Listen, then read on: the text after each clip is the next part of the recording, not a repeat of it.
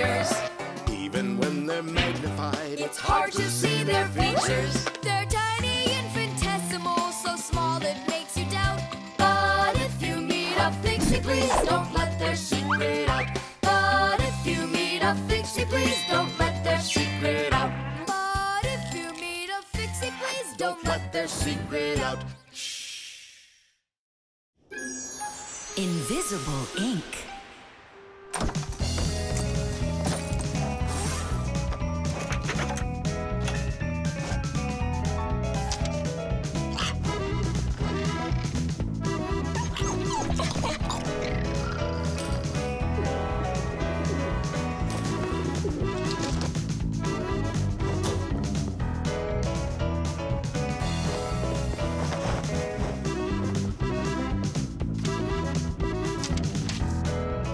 To Tom Thomas. What is it? A note? Who's it from? It's from no one. Ah, is this no one a girl? Hey, tell us, what did she write to you? I don't know. Well, then let's take a look at it. No way. It's a secret. Even from your friends. Mm-hmm. Come on, we're not just your friends. We're secret friends. And you won't tell anyone? Nobody. We promise.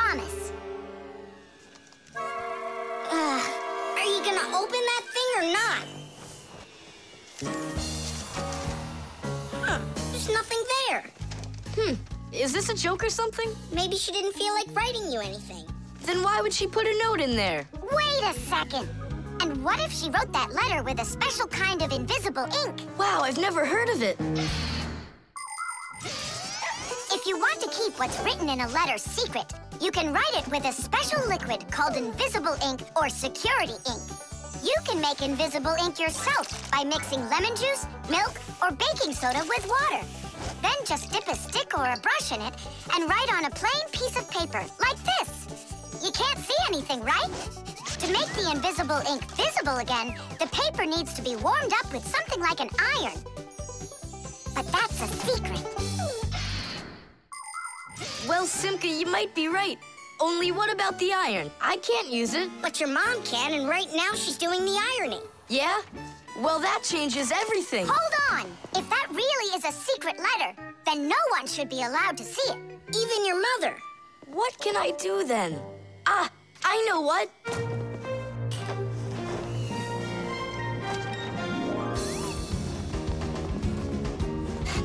Mom, can you iron my shirt too, please, will ya? What's wrong with it? There's nothing wrong, it's just that the pocket's wrinkled. Ah, sure, I'll do it. Since when did you start worrying about things like this? All done. Thanks, Mom. that should do it. What? What is it? Huh? Tom Thomas, I really like you. Katya. Katya's in love with you, isn't she? And what about you? Do you like her? Uh, I don't know. She does get straight A's. You like her. you and Katya kissing in a tree. Oh. Nolik, stop your teasing.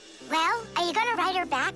You think I should? Of course, silly. I'm scared that someone will see it. Then why don't you write it with invisible ink like she did? Yeah, go get a lemon. Nowadays, it isn't very common for people to write letters by hand and send them by regular mail. Today, people mostly send letters through the internet.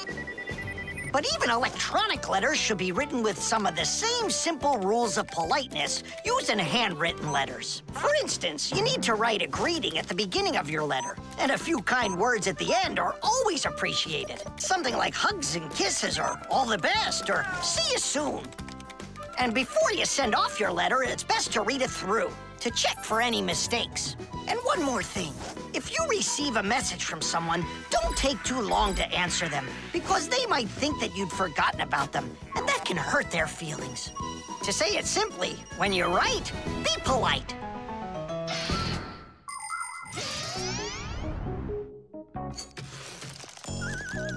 Go on, write. And what should I write? Come on, tell the truth. Just write this. Forgive me, Katya. Only there's another girl I really like. My one and only Simka. Hmm, no lick. If you don't like it, then why don't you think it up? Tom Thomas, just go ahead and write how you feel deep down in your heart for Katya. Katya, I like you too. Like that? Is that all I have to write? Would that be okay? It's lovely. K-I-S-S-I. Just zip it, will ya? Thomas, is that everything? And did you make sure to check that you didn't make any mistakes? No. But I'll check right now. Huh. All the words disappeared. Well, if there's something wrong, only Katya will find it. The gramophone. And that's a photograph of my mom when she was little. she sure looked happy, didn't she? Because parents were all happy when they were children. But then they grow up and start getting all gloomy and as boring as can be. Oh, what's this, do you know? A song about a screw? It's total nonsense. Nonsense? It's about a screw, which means it's practically about fixies. Why don't we listen to it and find out? If it's good, we can all dance together. How do you listen to this thing? Like this? Why don't we try to use the player? We won't fit in there. Look, right here it says gramophone record. See? So we need to find a gramophone player. Find what? Let's go to Grandpus. Grandpus, we found a song about a screw we want to hear. We're looking for a player for a gramophone record. Ah, I understand. What you need is a gramophone. A gramophone is an old appliance that was made for playing back sound that was recorded onto records. If you want to turn on a gramophone, you need to turn the handle to wind up its spring. The spring makes the record spin. Then a needle is placed on top of the record, and as it moves through the groove on the record, it shakes a little, which makes a diaphragm, a sort of mini drum skin, start to vibrate. The big horn of the gramophone then makes the sound louder, and we hear a voice or music. The most amazing thing is that a gramophone doesn't have an electric motor or any electronics. That's right. You don't need electricity for a gramophone to play back the sound that's recorded on a record. That's because a gramophone is an entirely mechanical wonder. If you want to know, there is a gramophone in the office of Tom Thomas's dad. It's on the desk. Great, let's go. Thanks would be nice.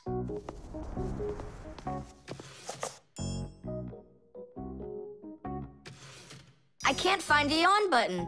There is no on button. You need to grab that handle and turn it.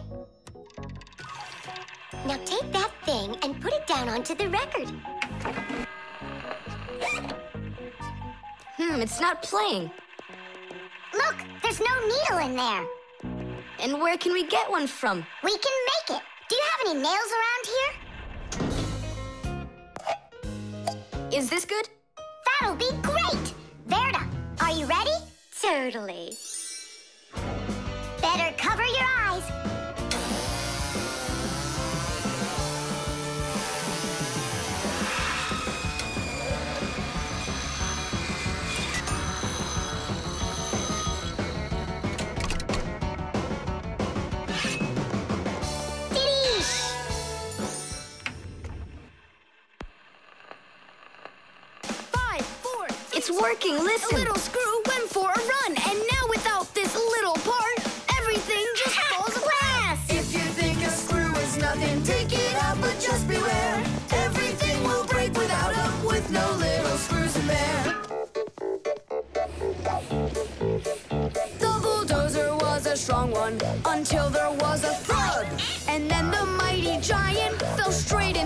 The mud.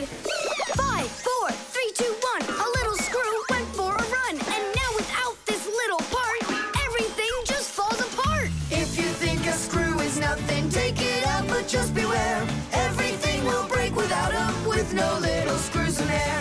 If you think a screw is nothing, take it out, but just beware.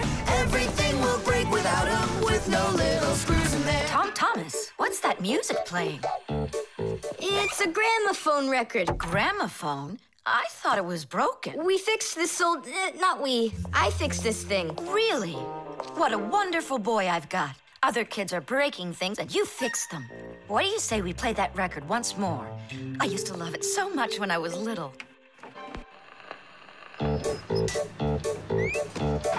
mighty crane was working until there was a pop. And then the mighty giant gave out and lost its top.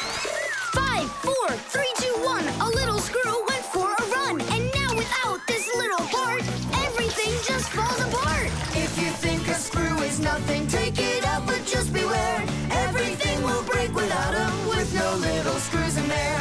If you think a screw is nothing, take it out, just beware. Everything will break without him, with no little screws in there. Tom Thomas's mom really dances super. Yeah, she knows how to have a good time, even though she's a grown-up. If you think a screw The barcode. And so, what do we do if we happen to see humans? Hide from them, right? And what if you've got nowhere to hide? Then we turn ourselves into screws. That's correct. Where could it be? Uh, where on earth could I have put it? Oh, I'm such a scatterbrain. Ah, it's Professor Eugenius. There's no need to hide from him. He's our friend. Where has it gone? Ah, did you lose something again, Professor? Yeah, how did you guess? It's just awful. Yesterday I started testing a new iron, and today, ah, it's totally disappeared into thin air. Where could you have put that thing? Um, I've got it down to two places. It could be in the warehouse or. mm, not in the warehouse. Yeah, that information will help us find it. Or not help us find it. Class, follow me to the warehouse.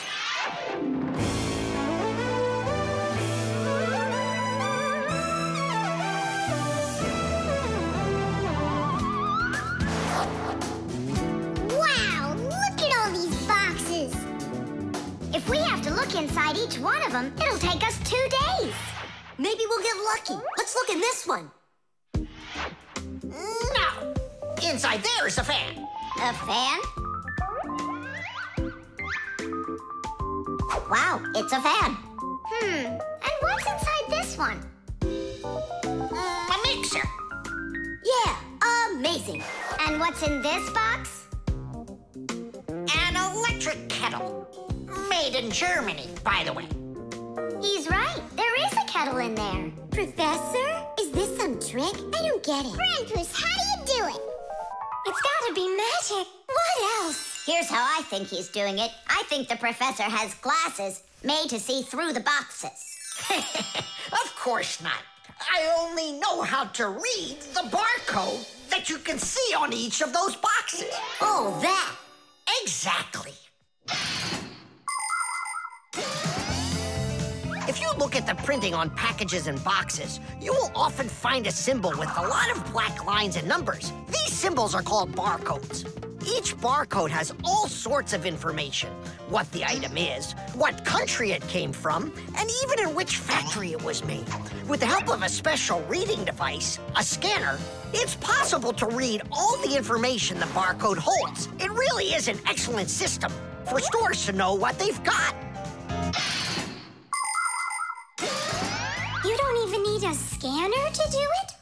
Can figure out barcodes without one. I'll teach you if you want. Class. Let's see. We're looking for hmm, a box with an iron. There. Well, bring in the professor.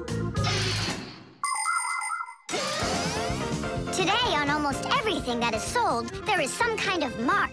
For instance, this kind of mark is called a barcode.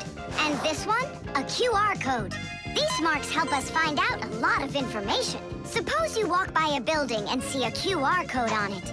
Just point the camera on your mobile phone at it, and information about who built it and when it was built will appear on the screen. Isn't that great? It's a shame not every phone can do this yet. And that's not all. There are also marks that work without pictures. There are electronic chips that can hold information. These chips can be put inside of ID cards or travel passes, and all you need to do is press the card near a reader so it can check if you're allowed to go on through. Ah, you just made my day. You found it so quickly. What would I do without you? Huh? Is something wrong? This is not an iron. Whose sandwich is that? Mine. Yesterday I wanted to put it into the fridge, only I guess I put it into my. Oh, I just get distracted so easily. Look, we need to think this through logically. If you went and placed your sandwich into the box where the iron should have gone, then you must have put your iron in the refrigerator. Oh, here you are. Here you are, my new iron. Oh, I looked everywhere for you. Thank you, my friends, once again. There's no need to thank us at all. You're always there when we need help. You've even let us open our own school here in your laboratory. And we don't have to hide ourselves. Yeah, that's because you're so kind and you love fixing